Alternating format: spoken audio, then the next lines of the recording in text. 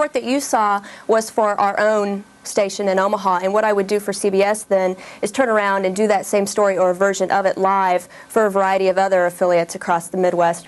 So those are the big differences in presentation. And what I'd really like for you to do is, and I think Jack can fill in a lot of the holes that I left along the way, but why don't you tell them about what happens with your day because you're back at the studio. Uh, yeah, I was a specialized editor. Uh, I worked in Houston is the ninth largest market. Which, when you start off, you want to start off in a small market because in a in a small market, you do everything and uh, the the videographers would go out and shoot. They would come in and edit, uh, and and that way you get a background in in you know all the various stages of production. But uh, in a larger market, you start specializing. You have a separate producer, a separate reporter, a separate shooter, and then it comes in and it goes through an editor, which uh, then the shooter goes off and shoots another another story to bring back to go to another editor. Uh, that way, it maximizes the the number of stories you can have coming in. But uh, I would come in at 2:30 in the afternoon.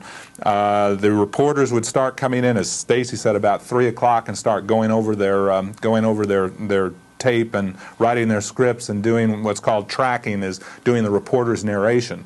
Um, I would edit for the five o'clock news. Then we had a uh, a hour newscast at 6. We went from 6 to 7, and then we had the 10 o'clock newscast. What would be wonderful is if you came in and you could start editing at 2.30, but, uh, and every once in a while that happened, but most of the time uh, the reporters are coming in and you start seeing tape along about 4 o'clock for a 5 o'clock newscast. Uh, if you want to get run over really good, walk into a newsroom about 4 o'clock in the afternoon when they've got a 5 o'clock newscast coming up because it starts getting crazy. Um, it's in full, it's in full kilt as far as, as working. Uh, everyone's running around and um, getting stories ready for the 5 o'clock. And about the time 5 o'clock rolls around, then you're starting to get ready for the 6 o'clock. And uh, one thing you have to be able to, if you're going to be in the news business, you have to handle stress because uh, one of the most stressful places you can work is the newsroom. Uh, and you know all the way from the news director on down, uh, it's you're you've got a deadline. I mean, five o'clock comes around, newscast is on whether you're ready or not. Six o'clock comes around, newscast goes on whether you're ready or not. You will only miss that deadline once. yeah, only once. Hopefully you won't do that though, but yeah, and uh, but there uh, it's a very stressful situation. You're constantly uh, you've got the deadline pressure. Um, doing an hour newscast, we would usually, at 6 o'clock, we'd usually have about 20 minutes of the newscast edited. So at 6 o'clock, you're editing for 6.20, and uh, that really puts you under, under deadline pressure.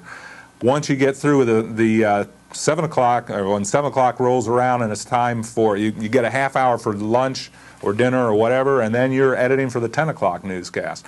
And you're generally editing up till uh, you know, 10, 15, 10, 20 to finish off the 10 o'clock newscast. So, um, you know, it, it's, it's fun, actually, if you, if you can survive it.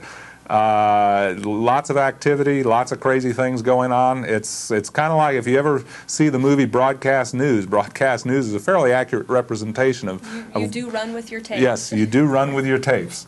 Uh, I understand y'all are thinking about doing a newscast next year. Is that right? That's right. Hey, well, I taught for 15 years at Friendswood High School, which is a uh, town in the outskirts of Houston, kind of a suburb. And we used to produce, not used to, they still do, uh, produce a daily newscast, which uh, have an example of the March 30th newscast from last year. Look at the countdown. It's five, four, three, two. As soon as it goes video, I go. No, no, you, you, set. You flying Uh, six minutes. You'll be set up. His finest work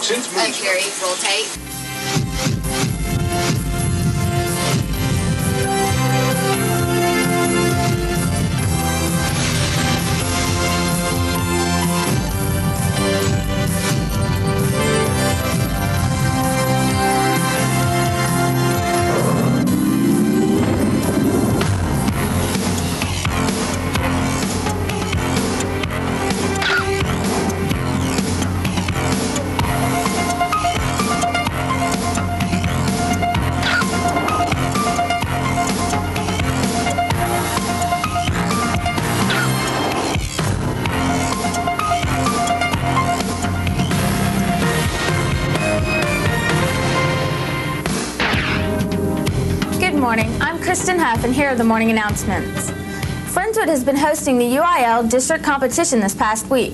In yesterday's academic competition, Candy Bennett won first place, Kevin Beck placed fourth, and Wendy Ward placed fifth in literary criticism.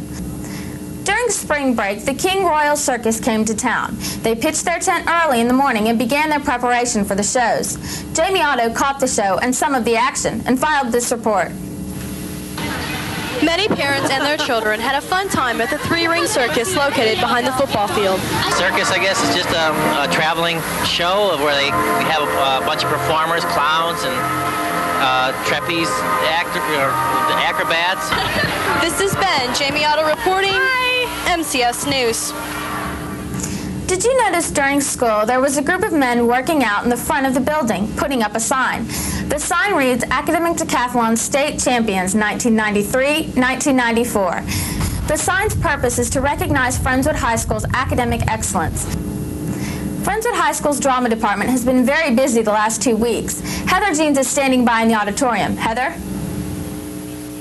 Thanks, Kristen. The One Act Play cast has been awing audiences and wowing the judges. Clarissa Reyes attended a rehearsal and filed this report.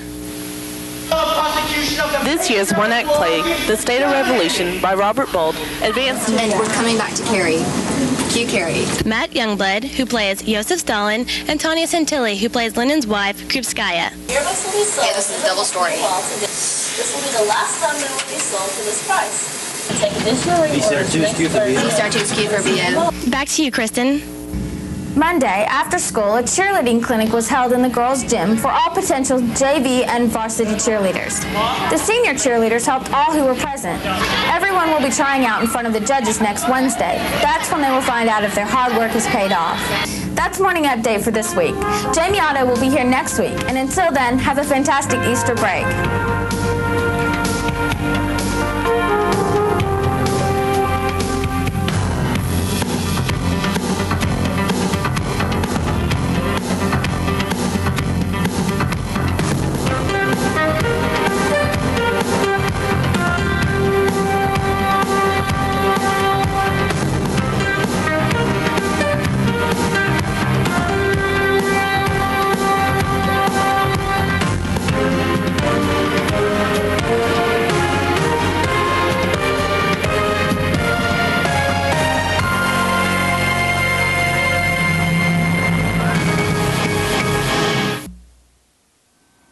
Impressive. The the guy in the control room was giving me a hard time. I have to to note that the picture quality is generally a whole lot better than that. That's about five generations off of a VHS. Which once you start working, you will find out that. Uh, every time you make a copy of a tape, you lose a little bit of picture quality. There's some real red pictures in there. Uh, if you're seeing it live, um, it, it doesn't look quite quite the video isn't quite as far off. But uh, roll the credits at the end to show you how many people it involves to put together a student broadcast, which uh, that's kind of some of the stuff you can look forward to doing next year.